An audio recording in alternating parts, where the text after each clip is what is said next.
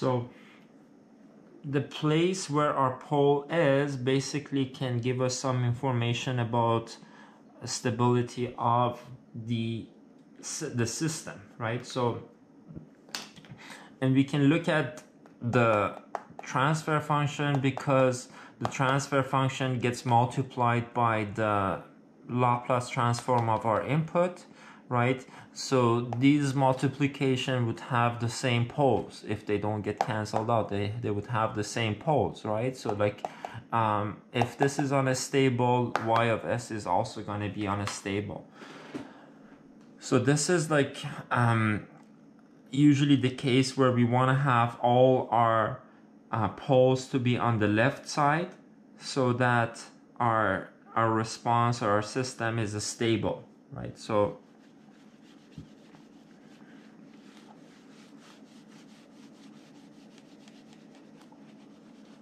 As an example, let's look at an example here. Let's say g of s is equal to um, s plus 2 divided by s2 plus 4s plus 3. That's um, a second order system because the order of the denominator is 2, the order of the numerator is 1, maximum is 2, so this is a second order system. Um, so if I want to find the um, the poles of this system, the transfer function, okay, you can use the quadratic equation or simply you can see that this is s plus 1 times s plus 3. We have two poles, both of them are in the left hand side. Um, so um, this is basically um, shows that our system it's gonna be stable right? So um, again if I if you want to be sure you can simplify this as a over s plus 1 this is a good example to do partial fraction uh, decomposition or partial fraction uh, expansion.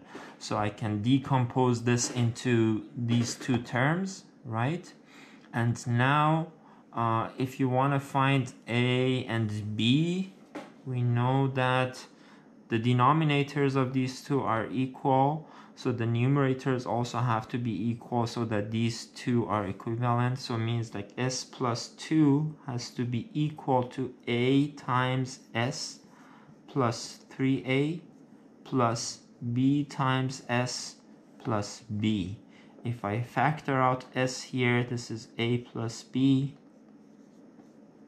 This is one term, and plus 3a plus b. Okay, so if these two are equivalent, that means that their coefficient for s has to be the same. So it means a plus b has to be equal to 1 and the constants have to be the same. 3a plus b is equal to 2 okay? Um, if you solve the system you would find out that a is equal to 1 half b is equal to 1 half. Okay so this means that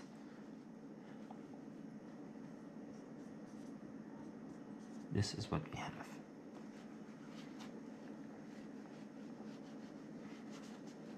Right so um, if, if you go to time domain this would be 1 over 2 e to power negative t. This one it's going to be 1 over 2 e to power negative 3t and both of them goes to 0 as t goes to infinity right? So this um, shows that um, our system is stable. So a system is stable if I was actually looking I was actually looking at the um, transfer function here uh, but also applies to signals. If all the poles of the system are on the left hand side then it is stable. If there is there exists one pole at least one pole there is at least one pole.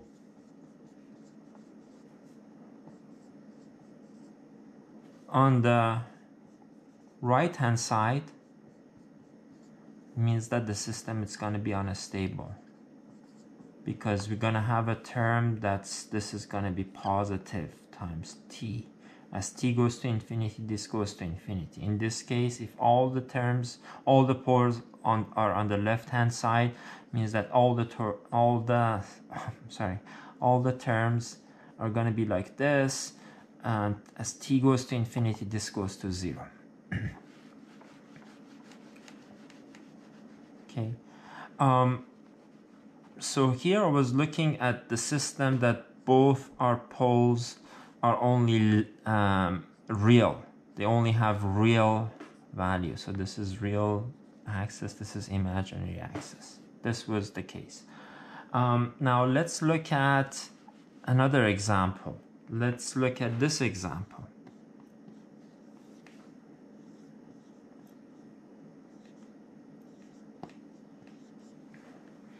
Okay so um, uh, I want to find the poles of this uh, system um, so basically I want to know like what is the answer to this equation um, you can write the quadratic equation to find the uh, roots of this um, equation or this term, this polynomial. Um, I can also write this as s plus 1 squared plus 1 is equal to 0. So it means that s plus 1 squared is equal to negative 1, right? So this means that s plus 1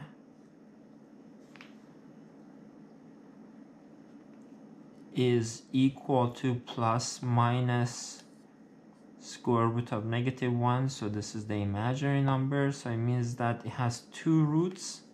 One of them is minus 1 plus j. The other one is minus 1 minus j.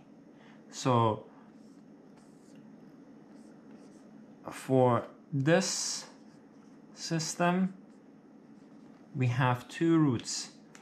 Um, they're always in pairs so if, if you have imaginary one of them is here minus 1 plus j and the other one it's going to be minus 1 minus j.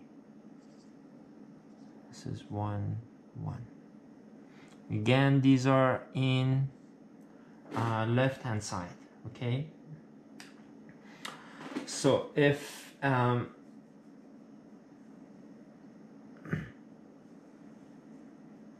if I um,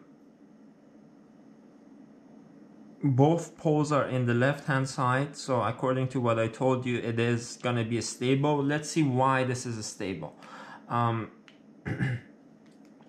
so this is like again I'm gonna use like one of the um, one of the lines from your Laplace transform table. So uh, if you look at your Laplace transform table we have